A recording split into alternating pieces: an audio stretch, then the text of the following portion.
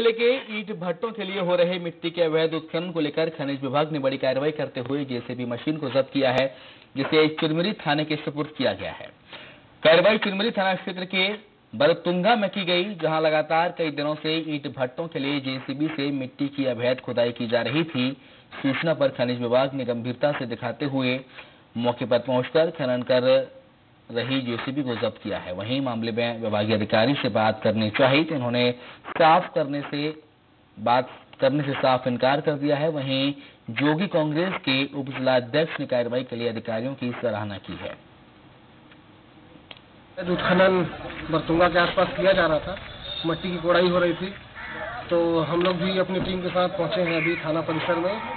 और निश्चित रूप से अगर अवैध उत्खनन है, अवैध कार्य हो रहे हैं तो उस पर अंकुश लगना ज़रूरी है। ये खनिज विभाग द्वारा जब्त किया गया है। खाने में सुरक्षा रखने के लिए टैगी प्राप्त हुआ है और खाने में सुरक्षा रखा गया है। क्या था? किस लिए जब्त किया गया इसमें अब ये अवैध खनिज उत्खनन में पाया गया है तो इसके द्वारा खनिज विभाग द्वारा जब्त किया गया तो इसको जब्त करके और पुलिस थाने क्या किया गया? कहा? पुलिस थाने में सुरक्षा रखने के लिए टैगी प्राप्त हुआ है खनिज विभाग से सुरक्षा रखा गया है जिस शिक्षक पर